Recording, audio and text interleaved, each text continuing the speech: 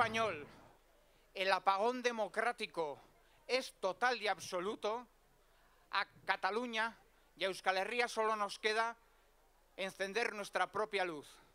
Y esa luz propia son sendos procesos constituyentes, el que han iniciado en Cataluña y, y el que tenemos que iniciar en Euskal Herria, cuyo objetivo tiene que ser dar la palabra y la decisión sobre el futuro político del país a la ciudadanía. Horretan daude Katalunian, horretara jarri behar dugu guk hemen ere. Zoriontze, Kataluniari zoriontzea ez da nahikoa, hemen ere gure bidea egin behar dugu. Ikusi dugu Espainiar estatuaren jarrera zein den. Ez dago, ez dago buru jabetza partekaturik Espainiar estatuarekin. Ez dago berdinen arteko itunik Espainiar estatuarekin. Ez dago hortarako aukerarik, ikusi dugu, ez dago hortarako zirrikiturik. Ez gaitezen engaina eta inork ez dezala inorren gaina. Ez dago hortarako aukerarik. Beraz, gure bidea egin behar dugu. Herri bakoitzak bere bidea egin behar dugu. Katalunian egiten ari dira eta hemen Euskal Herrian ere egin behar dugu. Bide hori egiteko osagai batzuk behar dira. Lehenengoz eta behin herritar bultzada. Eta guk hemen Euskal Herria pentsatzen dugu egon badauela.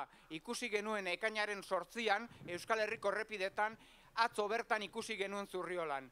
Jendeak nahi du, jendeak behar du. Beraz, guazen egitera. Bigarren osagaia, bigarren osagaia da proposamenak mailaren gainean jartzea. Eta Euskal Herria bilduk konpromiso hartzen du proposamenak mailaren gainean jarriko dituela. Proposamenak Euskal Herriko plaza publikoan jarriko dituela. Laugarrena, adostasunak lantzea. Euskal Herrian bertan adostasunak lantzea.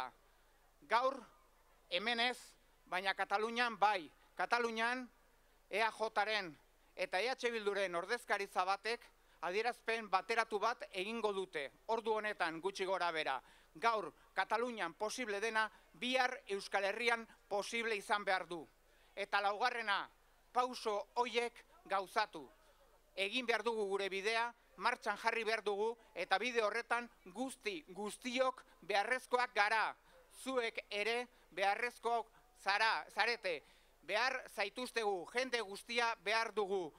Ikuspegi, molde, ideologia, sensibilidade, nortasun guztitako pertsonak beharrezkoak dira bide hau egiteko guztion artean egitea ezinbesteko delako. Guazen beraz bide hau egitera.